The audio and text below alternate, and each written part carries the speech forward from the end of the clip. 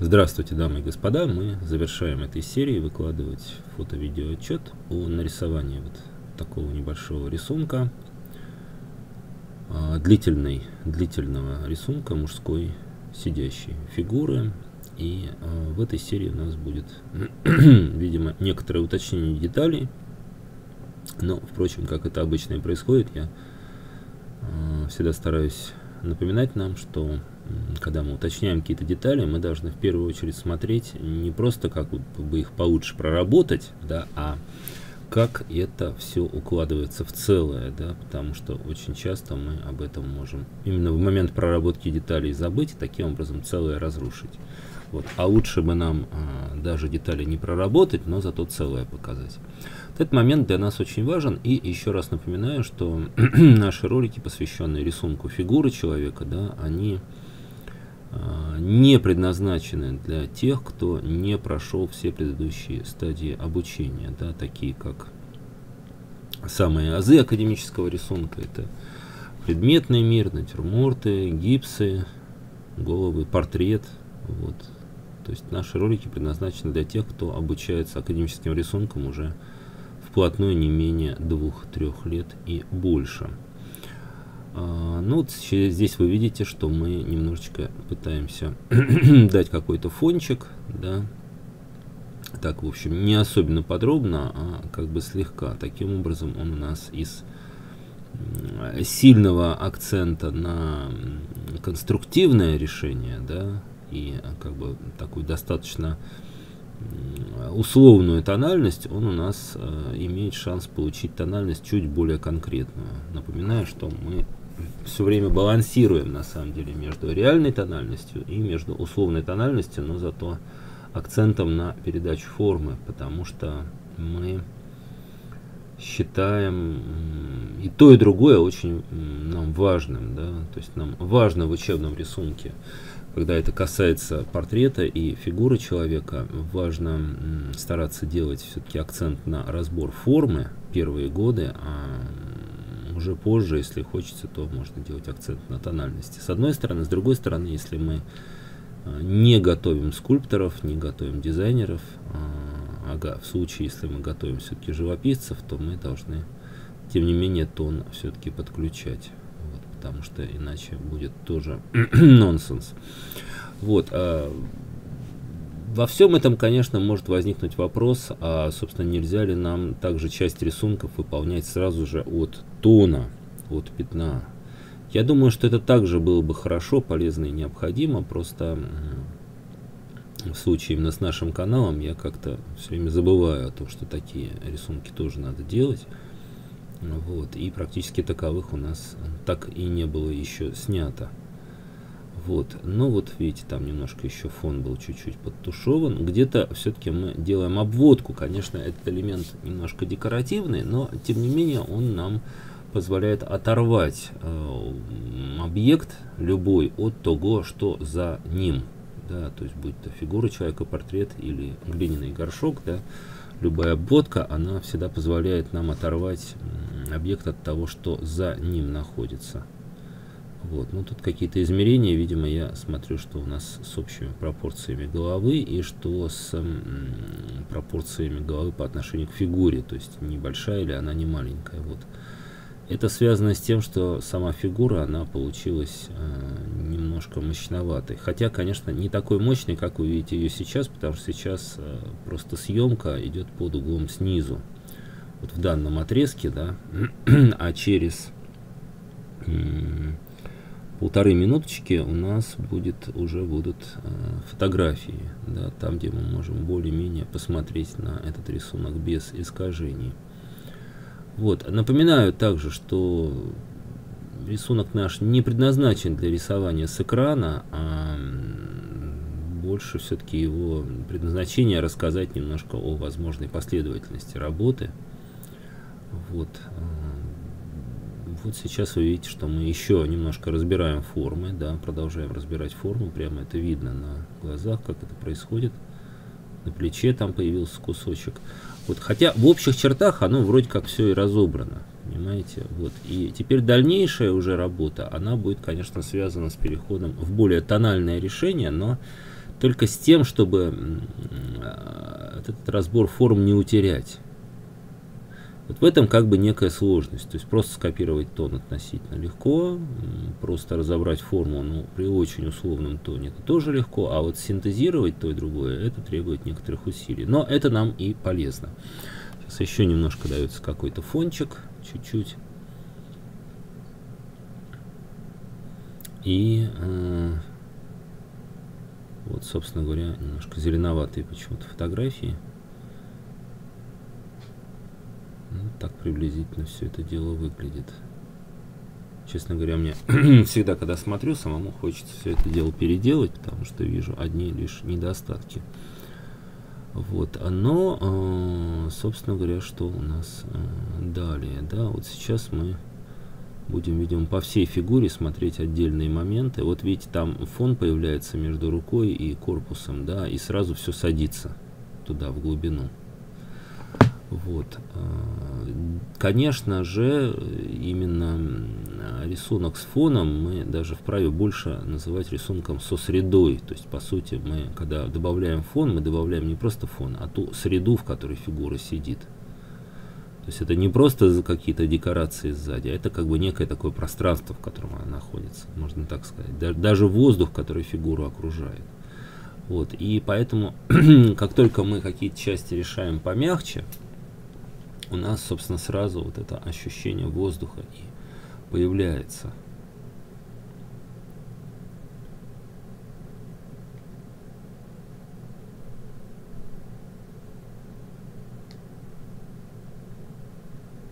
Ну, вот видите, сейчас за счет того, что появляется фон, у нас освещенные части на фигуре, они начинают выделяться.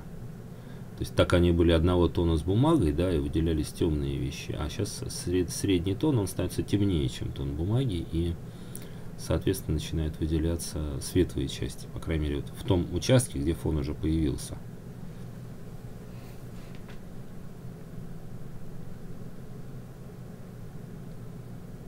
Немножко уделяем времени, времени э, подиуму, да, изображению подиума.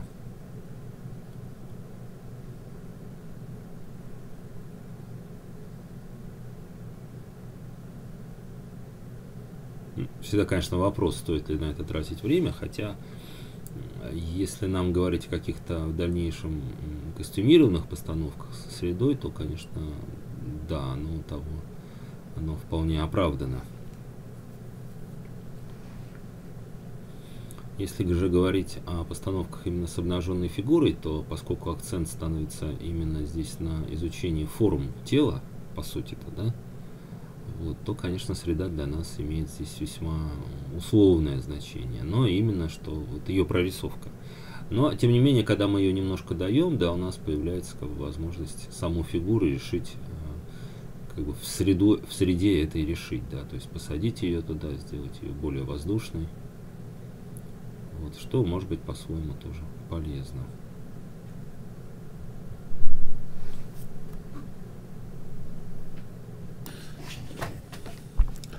Ну, немножко фон, да, чуть-чуть. В данном случае, э, ну, там просто у нас, собственно говоря, параллельно шла другая постановка, и поэтому висел такой щит на,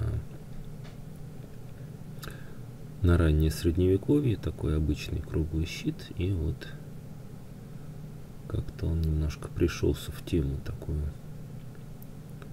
Вот. Но э, с учебной точки зрения тут, смотрите, какой момент. То, что мы фон делаем как бы более мягко, да. Это, наверное, самый общий тезис, э, который как бы не обязателен, но, э, в общем-то, вполне логичен. Мягко не обязательно, что светло, то есть даже если какой-то темный фон, но мы его э, решаем сам по себе не, не имеющим каким-то каких-то сильных контрастов, которые нам забили бы фигуру, да. Вот, а поэтому у нас получается, что отношение к фигуре и контрастам в ней одно, причем тоже разное, да, то есть мы вот коленки, которые выходят, как нам показать, что они выходят вперед? По сути, только одним способом, это сделав коленки поконтрастнее, чем торс. Вот. А фон мы делаем еще мягче, чем, чем соответственно, чем торс. Вот. В каком-то смысле можно сказать, что у нас возникают три плана, да, таких достаточно близких друг к другу, но тем не менее. То есть первый, передний план это у нас коленки, да, ну, может быть, стоп, стопа там ближняя, да. А, средний план это фигура, хотя, допустим, там, рука с кистью, она там где-то между передним и средним находится, да, вот предплечье вертикальное. Вот, и э, дальний план это как бы вот как бы уже фон, который мы э, как бы решаем более мягкими прикосновениями, то есть не, не делаем там какие-то резкие контрасты, да, дабы он вперед не лез. Вот. Ну, в общем, достаточно понятные вещи, да, и, наверное, из общих соображений, чтобы был воздух, да, было ощущение пространства, вот э, стоит ориентироваться в основном на такой вариант.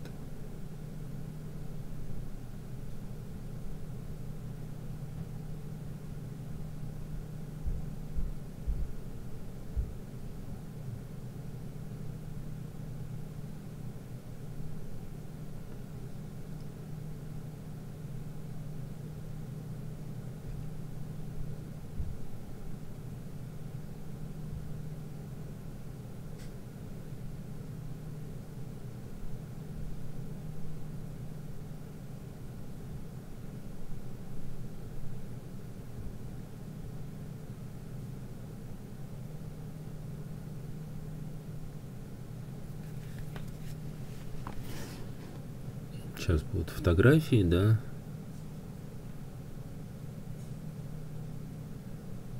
Ну, вот как-то так, да. А, ну, соответственно, здесь просто мы какую-то механическую часть работы делаем. То есть это все, конечно, можно не делать. То, что вот сейчас, да, тут с подиумом как бы совершенно не обязательно. Единственное, что, конечно, сейчас налицо момент некоторой пестроты внизу, да, то есть то, что у нас а, стопы, получается, с мелкими контрастными пятнами, и сам подиум тоже. Вот этот момент не очень как бы хороший, то есть это мне бы стоило, конечно, что-то там подстелить, наверное, более темное, чтобы а, или наоборот, нарочито более светлое, чтобы стопы они более цельно смотрелись.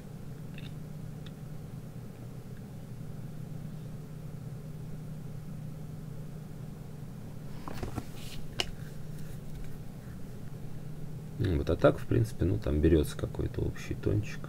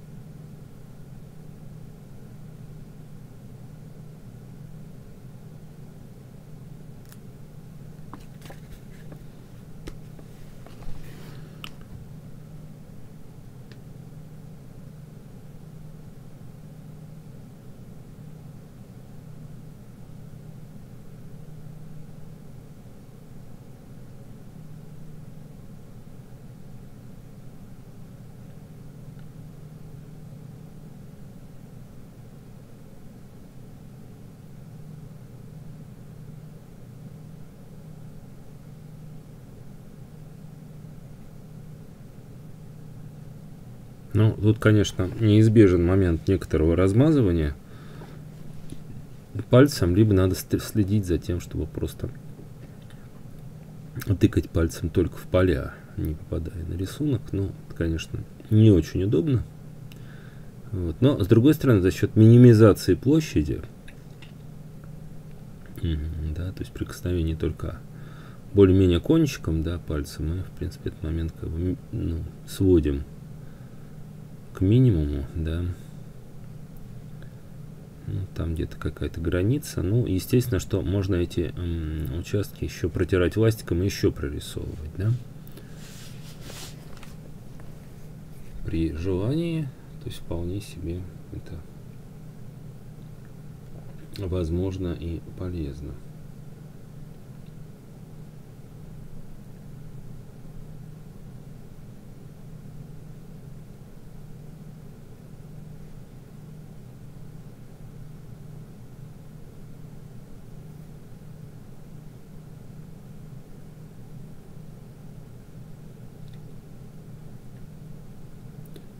какие-то моменты тоже. Но тут надо смотреть, понимаете, вот э, проблема, конечно, возникает в некоторой механической работе, да, потому что начинаем заниматься перечислением, что полезно, да, и так далее, но именно при условии, что это все в большое как бы складывается.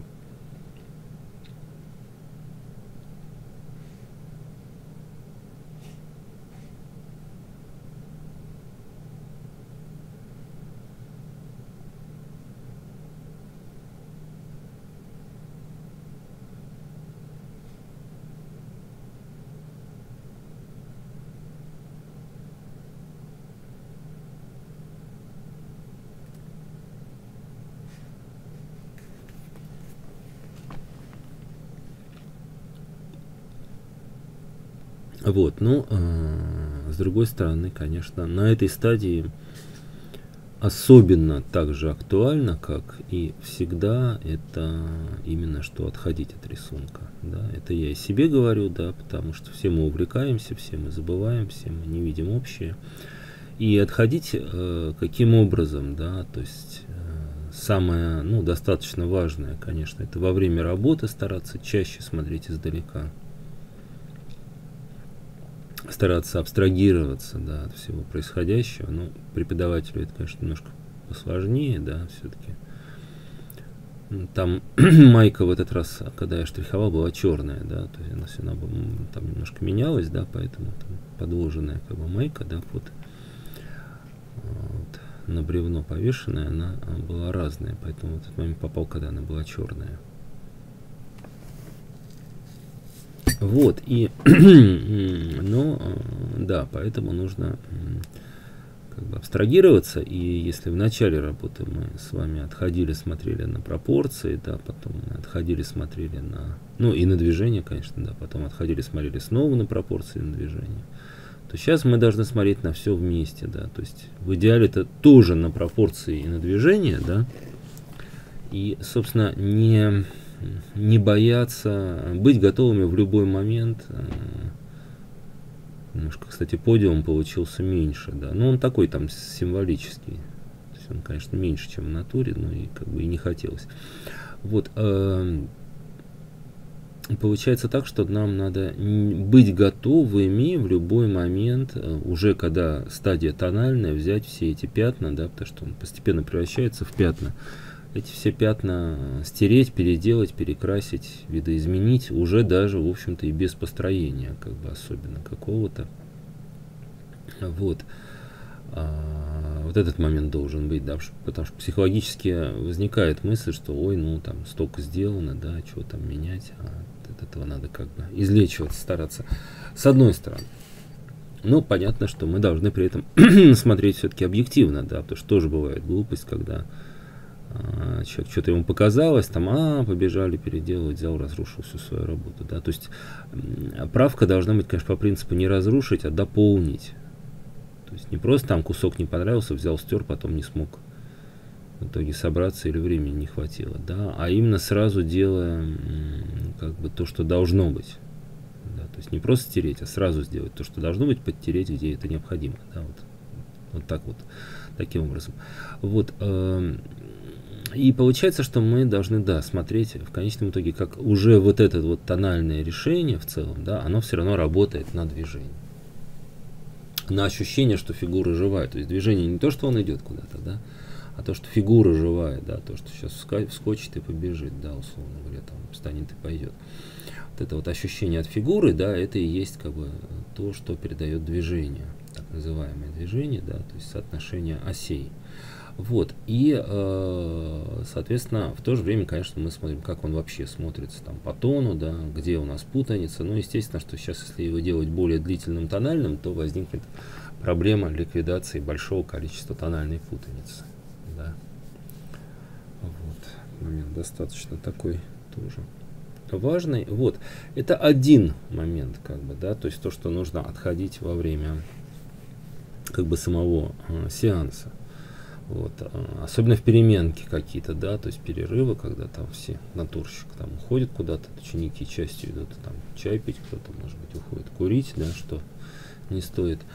А, вот, а нужно найти время, вот, там как раз вот перерывчик взять, отставить планшет, посидеть, посмотреть, может быть, вот. Это тоже как бы вот все во время, во время сеанса. Есть второй э, тип отхода, да, он как бы желателен в перерывах между сеансами, да, потому что получается так, что мы, э, мы в перерывах-то мы можем посмотреть, во-первых, в одиночестве, когда нас не отвлекают, вот сама атмосфера, такой немножко разговоров там и так далее, ну, особенно это преподавателям, конечно, тоже актуально, потому что если вы рисуете при учениках, и, соответственно, вы же отвлекаетесь на них на всех, да, и поэтому вам край, крайне сложно сосредоточиться. Вот, и, собственно говоря, собственно говоря, вот э, в промежутке, вот рисунок, кстати, да, так. Интересно, фото немножко такое, чуть как бы серовато-зеленоватое, да, получается. Вот, и э, вот в перерывах между сеансами очень желательно как бы посмотреть, так иметь возможность как бы немножко абстрагироваться от всего, посидеть перед работой, да, любой, не только вот таким рисунком, но перед работой, посидеть, повоображать себе, попредставлять, а еще лучше, конечно, если есть время, возможно взять альбом каких-нибудь учебных рисунков, там, э, института какого-нибудь, да, там, Репинки, Суриковского, может быть, Штиглица, ну, Штиглица Строгановки меньше, да, потому что там все-таки немножко другой рисунок, ну, хотя смотря, как вы рисуете. Вот, посидеть с этим альбомом, попить чайку, посмотреть на свой рисунок издалека, с расстояния нескольких метров, а то и дальше. Вот, и снова полистать, снова поглядывать. И, конечно, конструктивные должны быть выводы.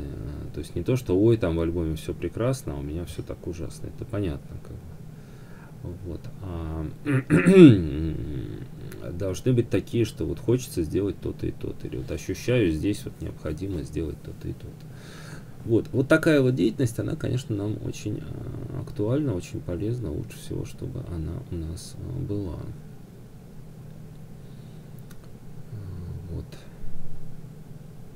Ну, между тем, какие-то полутона утемняются, да, он становится мягче, он становится немножко объемнее, да, то есть закругляются формы. Если где-то утемняется к краям, то как бы они туда закругляются.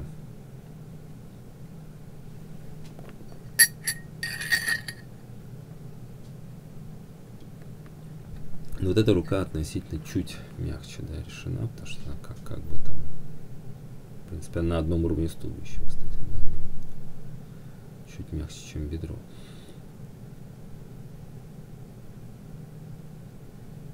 Вот, ну и немножко еще здесь, да, чуть поцельнее. Понятно, что, конечно, есть опасность перетемнить, но с другой стороны, бы иногда и нет, да, в темных кусках мы вполне себе можем набирать. А, немножко, конечно, если в дальнейшем этот рисунок продолжать, то нужно, конечно, будет думать насчет тональной путаницы, потому что уже сейчас образовываются при... Он как бы приобретает более реальный тональный вид, да, то есть и, развиваемый нами от формы, а не от тона, он а, сейчас постепенно приобретает реальный тональный вид. Какие могут быть тут дальнейшие минусы, да, это утеря форм, которые, то есть нужно, уточняя тон, все равно обращать внимание на формы, на планчики, то есть понимать, как, как в каждом месте уточнение тона, да, оно, тем не менее, легонько, намеком, но сохраняет эти планы, а не превращает все в пузыри. Вот это вот важный момент. То есть пузыри он не должен превратиться. Вот. А как бы а, второй момент, да, это то, что он, превращаемый в тональный рисунок, он, конечно, а, приобретает а, тональные к себе требования да, то есть то, что начинает а, постепенно видеться он как бы начинает претендовать на тональное решение. Да, так начинает выглядеть. И, соответственно, естественно, всплывают любые моменты, связанные с тональной путаницей и так далее. Вот. Ну, то, поэтому, если бы, например, его еще там пару сеансов продолжать, то, конечно, нужно было бы эти моменты утрясать.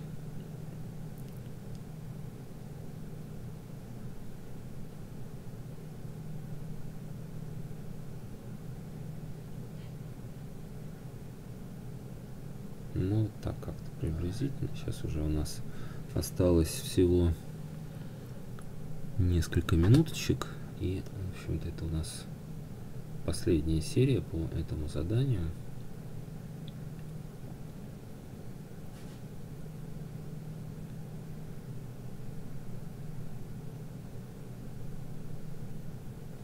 И еще раз напоминаю, что, конечно же, если говорить о том, что наши ролики носят некий учебный характер, то хотелось бы, чтобы ими пользовались мы ими пользовались не тогда, когда мы первые несколько месяцев берем в руки карандаш, да, а когда мы по программе дошли до таких заданий. Вот. И вот когда мы по программе наш, дошли до таких заданий, нам, конечно, нужно стараться не ну, как бы не идти по пути наименьшего сопротивления в том смысле, что ой, ну я там учусь по видеороликам, я живу там, где художественной школы нет, или есть, но там что-нибудь не то, поэтому вот я все сам, ну а сам я, конечно, натуру найти не смогу, и поэтому я просто буду срисовывать с экрана. Вот, конечно, должно быть не так. Рисовать все равно нам лучше с натуры, что-то копировать можно, но, понимаете, вот у нас на экране реально этот рисунок виден только урывками. Да, поэтому тут сложность в том, чтобы взять верно пропорции и как бы в любом случае как бы ну, рисовать мы большей части должны с натуры. Вот. А какой-то процент можно, конечно, разных художников там как что-то немножко копировать, но вот. А с натуры, конечно, это означает, что мы должны находить а, реальные условия, возможности для этого.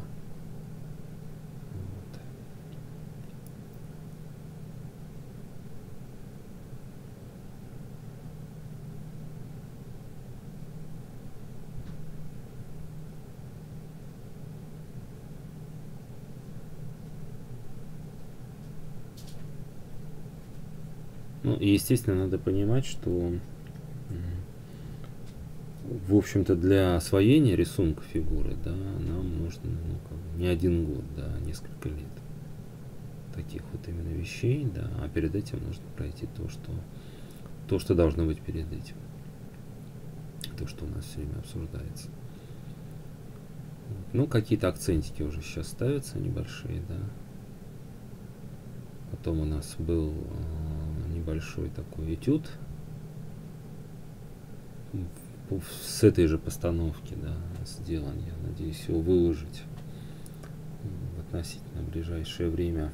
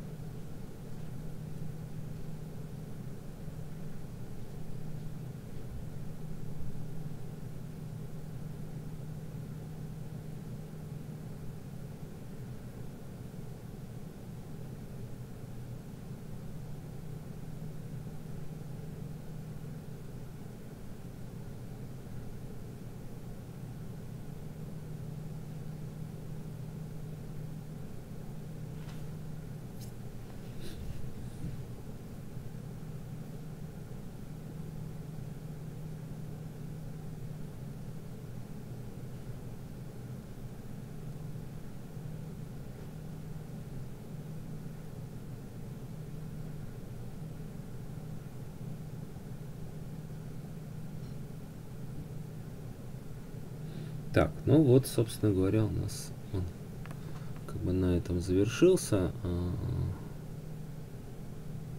что мне здесь не нравится, да, это нижняя стопа, да, которая вышла вперед, она сейчас представляется слишком длинной.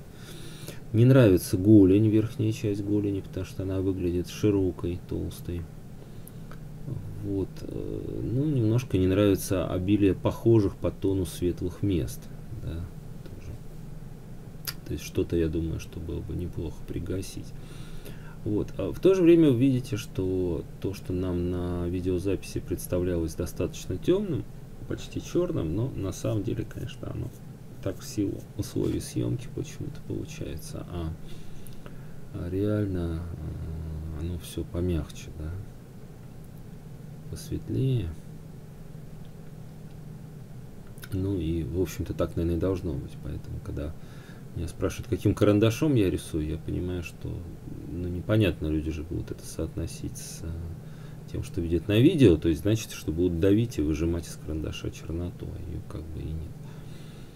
Вот, а, собственно говоря, спасибо вам за ваше внимание. Это наш проект художественное училище онлайн, где мы а, в форме группы ВКонтакте пытаемся пожить в атмосфере художественного училища. Да некоммерческий проект, может быть кому-то будет любопытно. А, и туда же лучше присылать ваши работы, то есть не мне в личку, да, а лучше туда на стену, если вы хотите что-то показать, а это вот мои координаты.